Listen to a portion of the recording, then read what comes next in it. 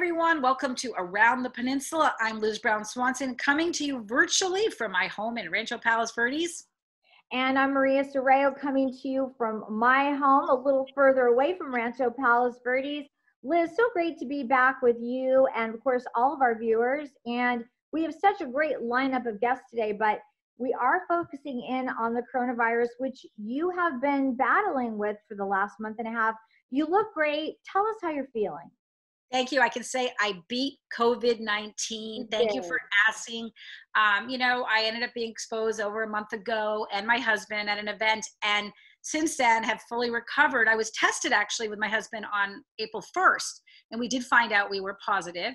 And then now, with all the focus on being retested or to find out if we have antibodies, we were we participated and we went to the only drive-through uh, testing site on the peninsula, which is being offered by the Palos Verdes Medical Group, mm-hmm. um, and they've been in the headlines making news because they're offering testing for the antibodies and testing for the virus. And the two of us um, just went there over the weekend and were able to get tested for antibodies and um, the virus. And so, um, drum roll, we were negative for the virus now. So Yay. I was. That's great. But it's so a lot of people worry because that have gone through it because the symptoms can linger. And I was feeling not great for about a month. So I was thankful that you know the virus. I've shed the you know the virus is gone at least according to the test. And then also um, I did have the antibodies my husband did not, but he's been asymptomatic, so that could explain that. Yeah, what was great to know is that so PV Med Group that's putting on the drive-through um, with um, the Dr. Lawrence Sher. Mm-hmm. He's so reputable, who's a medical group, and he also is the director of the uh, Peninsula Research Associates. So they've done 200 clinical trials. He's an immunologist, Dr. Sher, who's overseeing this, and um, so I felt like I was in really good hands. Now we're gonna, he's gonna join us um, virtually, you might say, just to talk about the impact of COVID-19 and who should get tested and what it all means when you do get tested. So let's let's hear from Dr. Sher right now. So when were you sick? I was asymptomatic. You were asymptomatic. I have to say, first off, I am just so proud of my staff because they're really the ones who have been on the front line, answering phones, sitting out here, as you can see back there. And they're here eight hours, nine hours a day outside in the heat or when it was cold two weeks ago and they're trying to help everybody. There's nothing that helped me prepare for the COVID 19 because I don't think anyone can be prepared for the COVID 19.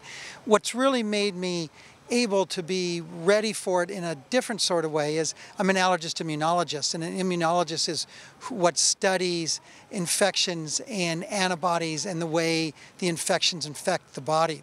What made me one step even closer to prepared is um, what I've spent the past 20 years doing is research and researching new vaccines, researching new medical treatments for all certain, all many different therapeutic areas. You're offering uh, the community uh, COVID-19 testing service, testing for the virus and antibodies. Can you kind of walk us through each test that you're doing and just sort of what people need to know and what, what your information you're getting from this? Well, what started first is patients were concerned do they right now have COVID 19? In other words, are they affected with the virus, which is called SARS CoV 2? And these are the patients who are acutely ill. So we started with the nasal swab, the nasopharyngeal swab, which detects virus, and that's through polymerase chain reaction that we sent to the laboratory that we were getting back in two to three days. This helps a patient say, I have the infection or not. Once we're able to determine that, um, we're able to help them in many different ways. What came next now is the antibody testing that everybody's hearing about. And so we were able to obtain those tests because people are now going back and saying, in February I had this problem, in January I had this problem. So they wanted to be able to say, was it truly COVID or not. So antibody testing that we're able to be able to do now isn't saying that you're immune to it. It isn't saying I'm not going to get it again. It's being able to say whether you had it. But unfortunately, we're not at the point to say that you won't catch it again because we don't know if these antibodies are going to say they're protective or not. And that's going to take time. As we've talked about before, um, this is a four month old virus. That's it. So it takes more than four months to be able to say everything about the virus. And I teasingly always tell people we know a lot about nothing at this point. And so eventually we're going to know a lot about a lot. So it's going to take our time.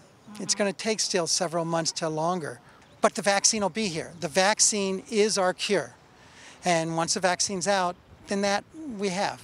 So what are the patients here, your clients going through, and I'll be doing it with my husband. So what are we? What, what's going to happen to us when we? Well, they call up. They call up the office, um, or they email the office, and they schedule a telehealth because it's important that we find out what type of illness they had over the past several months. We find out if they have any what we call comorbidities, which is high blood pressure, diabetes, asthma, chronic bronchitis or emphysema. Um, we find out what type of symptoms they had, um, and then we schedule them for an appointment where they come through what you see here. Um, once they get their finger prick with whole blood, we do the test and they find out within 10 to 15 minutes. With that result, we're able, our nurse practitioner, to be able to talk to them about that result. I'm Leanne, I'm the nurse practitioner. What's your name? I'm Elizabeth Swanson. Okay, perfect. So I wanted to go over your results with you. So you came back positive for IgG. So what that tells us is that at some point you did in fact have a COVID infection, okay? But you are not currently actively infected, meaning you're not contagious. Okay? And it does tell you that I have antibodies for it? Yes. Yes, so those are the antibodies for it. However, the unfortunate part is we don't yet know what it means to have the antibodies to COVID. So we don't know if that means that the very next time you are faced with it, your body will fight it off and you won't get sick at all. It means we still have to keep doing the social distancing. We still have to wear masks in public until we understand fully what the antibodies mean. Mm -hmm. It's not yet our key to going back to life as we know it. Really, we know social distancing is working because you have seen flattening of the curve you know, all over on the places that are actively social distancing. And so we've seen that in the United States, we've seen that across the world. The problem is, as we get more antsy, um, and if we go back out, will we see a second wave? That's the concern is that second wave when it will be seen. So we have to be, you know, very careful about what we do. Um, you know, when the politicians and when everybody says, let's go out, let's not have to social distance, we have to be careful. And with the data that we're seeing now, we have about 450 patients. We're getting a positive rate with the antibody of about 3.47% so far out of the first 450. I hope to have about 1,000 patients within the next week and a half. It's right now right there with the USC data and the uh, Santa Clara data of about 3.5 to 4 percent um, positive rate. And so if you look at that, whether it's across Palos Verdes, the hill, or whether it's across South Bay, that's a lot of cases that are out there if we multiply it across the total population. We can't say, you know, the flu is more deadly or it's equally as deadly because we don't have the idea. But we know that this is a pandemic that spread throughout the world in less than six weeks. We saw it all over. I mean, literally in less than six weeks. We have never seen anything like this. Probably it's been 100 years. I mean, I think it was uh, 1918 with the Spanish flu. That's when you saw that. And so, no, this is horrible.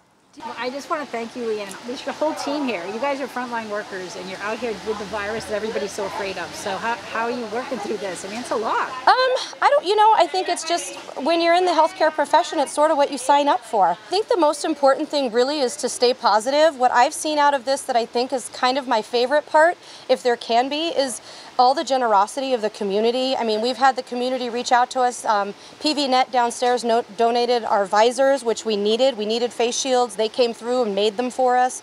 Um, we've had people donating, patients have donated food to the office, which is incredible because there's not really anywhere to eat up here at the mall right now. Um, and even just, you know, simple things. We've had people bring us cookies or cards. And I think all of that stuff really just sort of shines the light on the fact that we are still a community.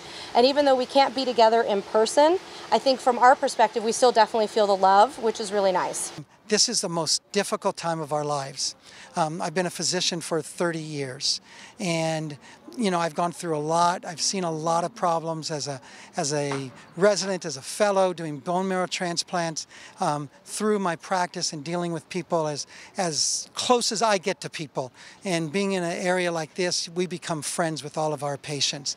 Um, but this has been the most difficult watching people because with all of this, we have high anxiety we're getting sad, we're getting depression, um, we're getting upset, and then you hear the stories. So it's been most difficult time for all of us. And so that's the first part is we're in this together. We should be talking.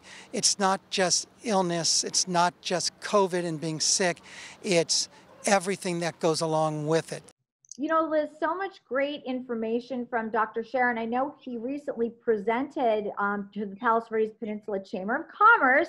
That means our next guest is our good friend, the president and CEO of the Chamber of Commerce, Ms. Eileen Hupp. Eileen, thank you so much for being with us and being a regular recently here on RPV TV. Thank you so much, Liz and Maria. I appreciate the invitation. Eileen, I know these are tough times for all of us, especially our businesses, and we will we'll get to that. But I happen to watch the incredible presentation that Dr. Sher put on through the chamber. Mm-hmm. And I just wanted to know your takeaways and just the value of being able to do these kinds of virtual presentations right now. Yeah. Oh, thank you so much for that question. As you um, know, the Chamber instituted a weekly Zoom series for businesses uh, five weeks ago. Actually, this is our sixth week. And we've been hosting a variety of different speakers, um, including we had your mayor and city manager on two weeks ago. We've had our congressman. We were so honored to have Dr. Lawrence Sher this past Thursday. And we had over 90 people sign up to be on it, which was awesome.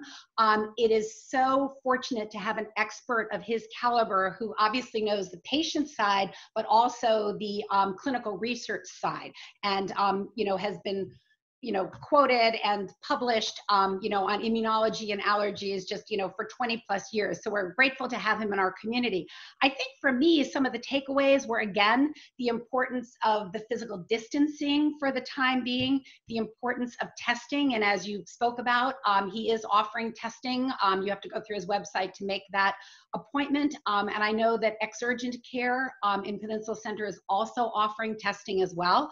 Um, and I think one thing that he really stressed a lot in our pres- his presentation to the chamber was the importance of really monitoring your health and working with your doctor because every patient is different.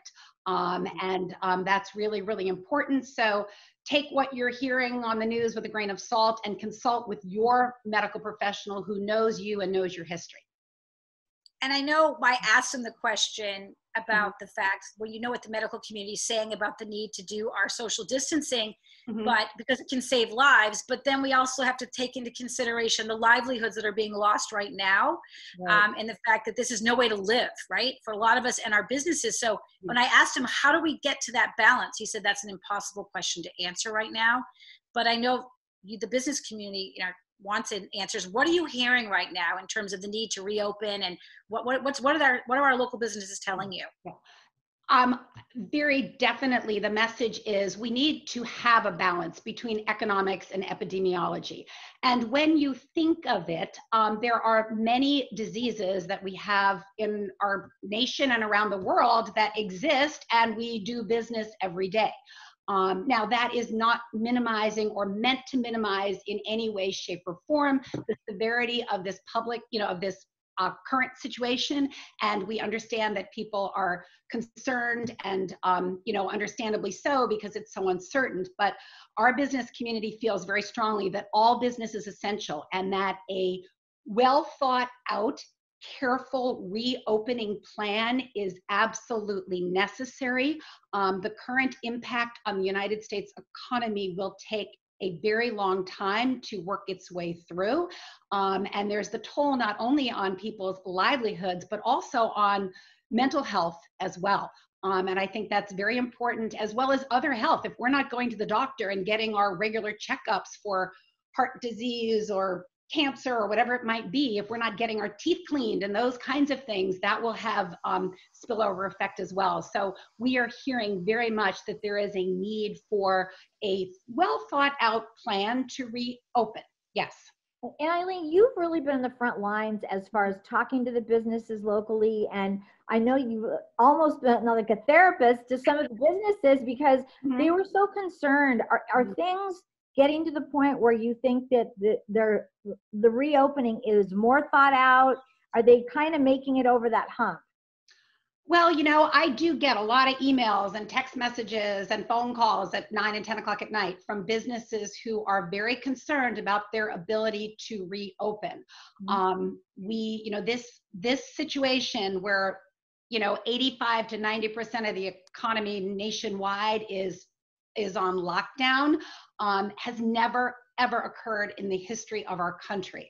Um, and the impact not just on businesses, but onto state and local governments and their budgets and their ability to continue to provide the services that are so important to all of us, it's very, very far reaching.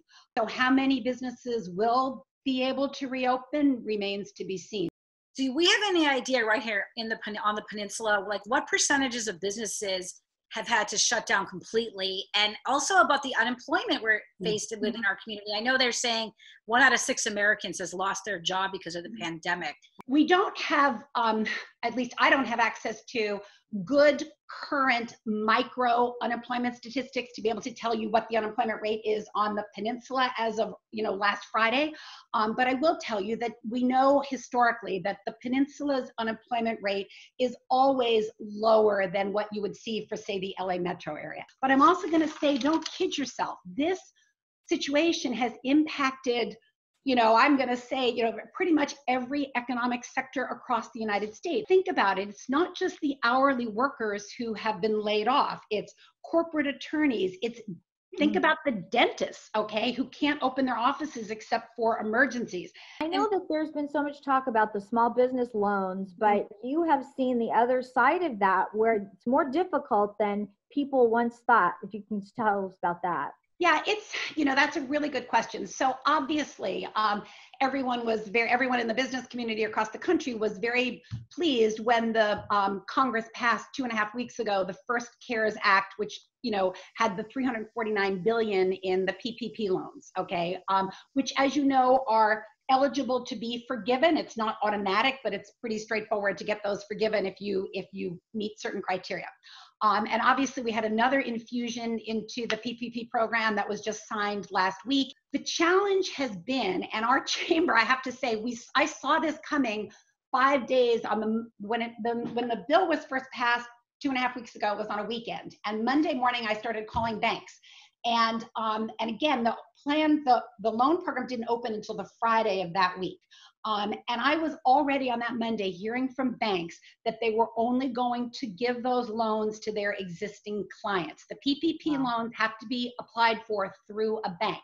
Now, note that Congress didn't give the banks any requirements. They didn't say you can only deal with your clients. They just said, here's what you have to fill in, here's what you have to do. So the banks themselves took care of their best clients first. Okay. And I don't fault them for that. That's their business strategy. But you saw what happened, which was the Shake Shack and the Ruth Chris Steakhouse getting those loans when I was getting calls at nine o'clock at night from small business owners here who were frantic that no one would accept their loans. Or maybe they had, a, maybe they were a client of a bank, but they weren't, they didn't have an existing loan. So the bank said, we're not going to deal with you. So we reached out proactively. We called banks, our chamber called banks all over the South Bay that week, and we were able to find three banks that were taking loans from non-clients. They all happened to be chamber member banks. And so we sent that information out to all of our members. I have to applaud the um, the leadership, the proactive leadership of the city of Rancho Palos Verdes for um, going forward and putting together that small business assistance plan. Um, and the first piece of which is is uh, refunding business license taxes to businesses that I think have under a, one and a half million of gross receipts in this in 2019. So that's a huge step forward. I know they're looking at some other programs as well, and we really appreciate that. Not all the local cities are in a position to do that, but we are continuing to encourage them to look at other things they might be able to do.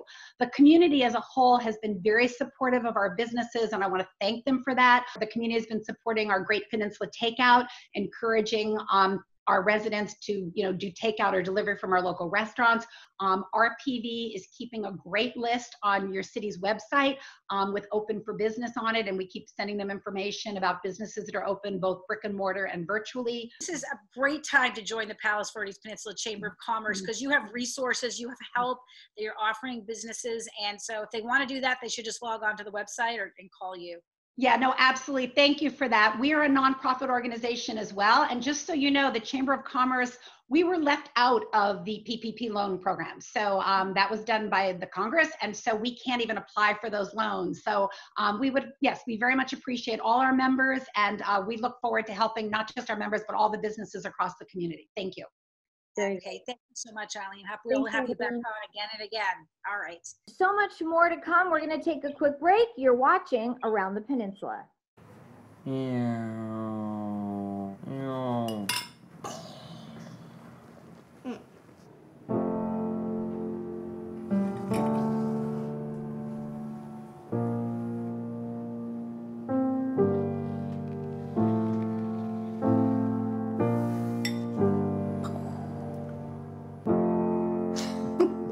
Visit aarp.org slash caregiving for information on how to provide even better care for the person who wants to care of you. Welcome back to Around the Peninsula. I'm so excited to see my hairstylist, Cathy Vilicich, RPV resident, and just, you know, I'm so sorry for me and for you. You've been out of work with Scandia Salon at Golden Cove is where you're based. And um, we so appreciate you joining us. I know you're really excited to get back to work. So thanks for being here. Well, thank you for having me. Of course, Cathy, what has it been like for you not being able to work for the past month? Well, it's been it's been a bit of a struggle, but I think that it's been good. It's almost like a reset button for us. Right. Um, and just sort of getting things in perspective and finding out, you know, really just kind of doing a lot of like soul searching in a way. I know it sounds really deep, but um, just, you know, figuring out what's really important right. and what's not. And, and how many of your clients have you heard from?